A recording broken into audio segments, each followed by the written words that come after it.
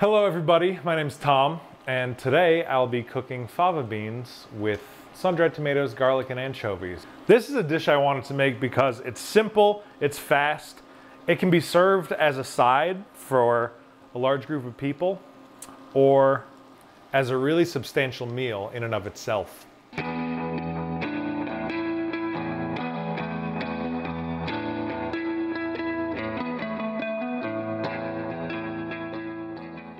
Today we are making fava beans, the humble fava bean. It's a summer bean. You can get them fresh, May through October. If you're lucky and you live in a farm community, it might last a little longer. They're dried, called broad beans often. And uh, it's just a nice substantial bean. Somebody told me that it was the meatiest bean they've ever eaten. So we are going to blanch a handful of these fava beans. I have already blanched off a large volume of them. I bought a five pound bag, which yielded probably about four cups worth of fava beans, four to five cups. We'll blanch a few just to demonstrate how you do something like that. So I'm gonna get some salted water boiling. And this is very salty water, like the ocean. It took me a good half hour to peel the five pound bags, so put on an episode of your favorite TV show and get comfortable. And then once you blanch the beans, we'll peel a thick skin off them. When you buy dried fava beans or broad beans, the skin will usually be on them, so your preliminary soak the skin will loosen up and you can peel it off at that point before you do your full cook. And fresh, they really hardly take any time to cook at all. It'll be two minutes blanching, but really they're good to eat after about five minutes of heat. So we have all of our peeled beans here. And like I said, this is just a small demo to show you how we're gonna cook them off. And I've got my water boiling. And while we're waiting for that, I'm going to slice up a few cherry tomatoes here. These are going to be roasted and mixed in with the beans as we cook. So I've got my sizzle platter here that I'm just going to coat with oil. These cherry tomatoes are going to have a nice blistery skin on top. So we'll half them and place them skin side up, like so.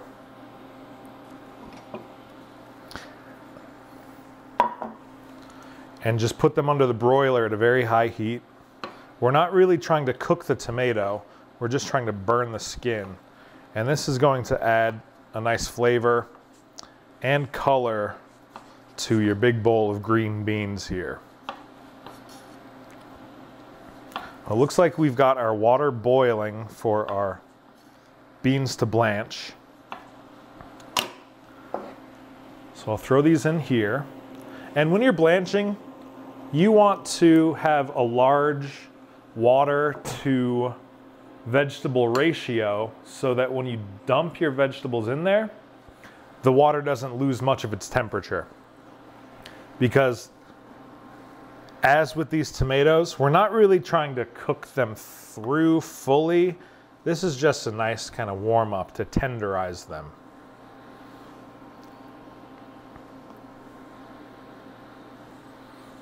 These fava beans should take about two minutes to become tender. And I have a bowl of ice water on hand to shock them to stop the cook. And this maintains a nice green color as well. So while those are cooking, we'll top our tomatoes with a nice coating of olive oil. And this will make sure that they blister up really nicely. This oil is gonna get so hot under the broiler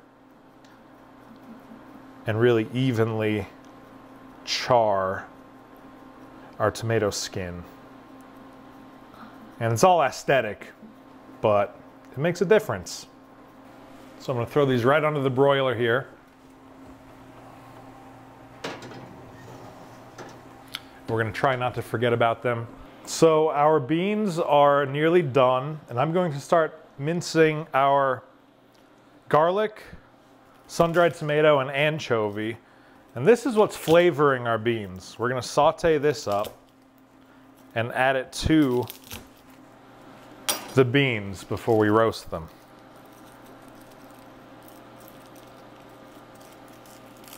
I think we're probably at about two minutes on these favas, so why don't I shock them right now?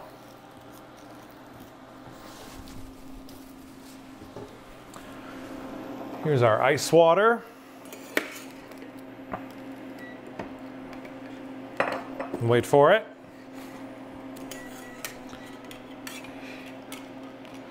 Here's our ice water here. So now we have our blanched fava beans and we have to peel this thick skin off them. Now sometimes I'll take a knife to give it kind of a head start and just break through the skin. But as you can see, it comes off very easily, like so. Just discard that. And we'll add these blanched beans to our big batch here.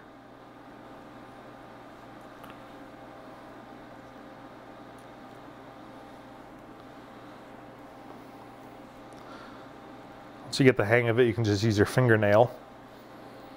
But if you prefer a paring knife, more power to you. Now we have our pan heating up and we're gonna start mincing our seasoning. I have a little bit of garlic.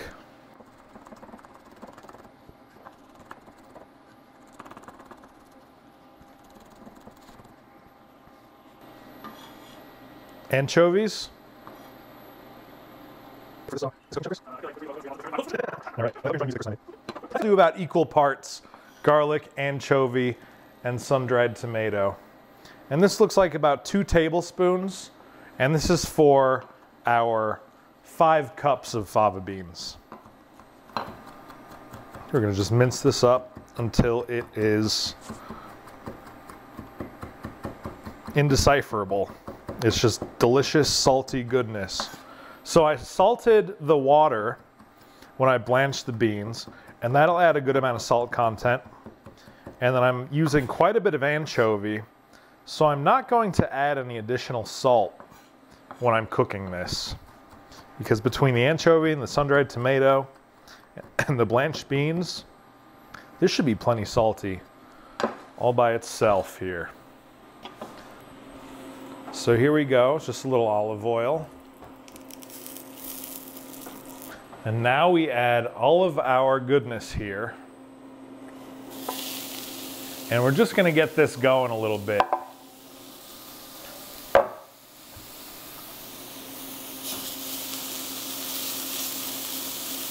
Get it sizzling.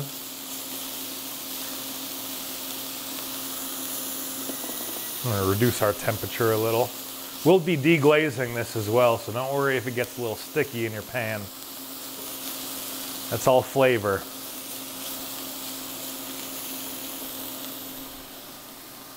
So sun-dried tomatoes, anchovies, they're dry, they're salty, it's something that's traditionally just been used as a seasoning in your pantry. It's more flavorful than just salt.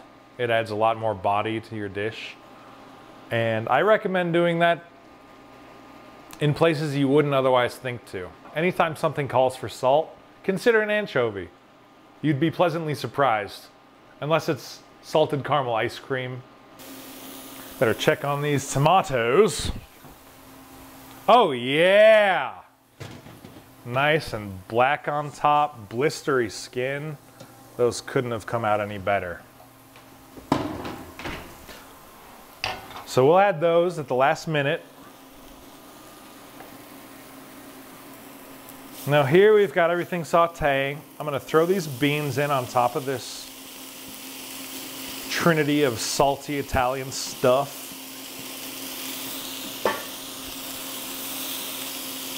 And these we're looking for a little bit of color on. Just get everything nice and incorporated.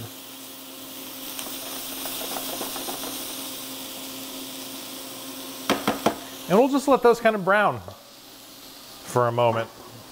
So we've sauteed our sun-dried tomatoes, anchovies, and garlic, and added our fava beans, which we blanched. Now that we've got a little color on the fava beans, I'm going to add the broiled tomatoes, which will be our initial deglaze. The little bit of liquid we have in here ought to unstick some of this nice caramelized garlic and anchovy. And then shortly thereafter, we're gonna throw some chicken broth into this pan. This broth is another reason I won't be adding any additional salt to this dish. Probably only about four ounces I poured in here, just enough to deglaze and give it a little bit of liquid. And now we'll just let this simmer for a few minutes. This is a dish I wanted to make because it's simple, it's fast, it can be served as a side for a large group of people or as a really substantial meal in and of itself. Now we've got some beautiful color coating all of the beans. Everything's really come together.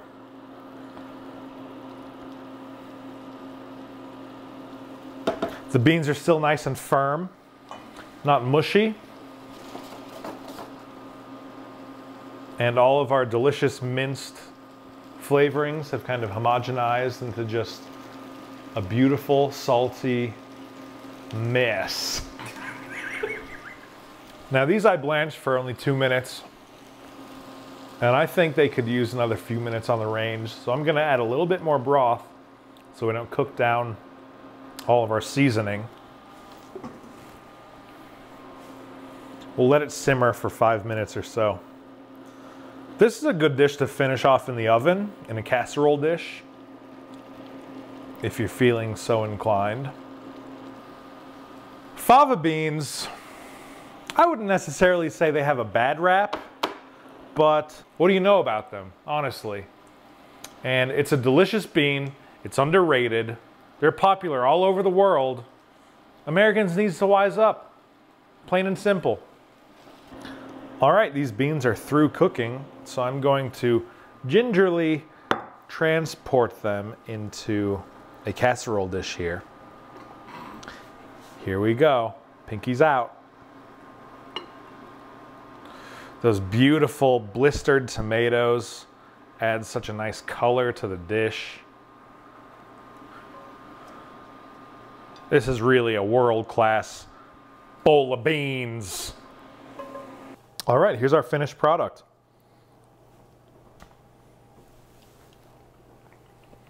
Mm-hmm. It's fragrant. It's robust. The sun-dried tomatoes and the garlic add so many layers of flavor to a humble bean, to just a simple bean. It's quite fantastic, and I thank you for cooking with me. I hope you enjoy them as much as I do. Muchísimas gracias, and I hope that you join me for our next culinary adventure. There may or may not be more anchovies involved.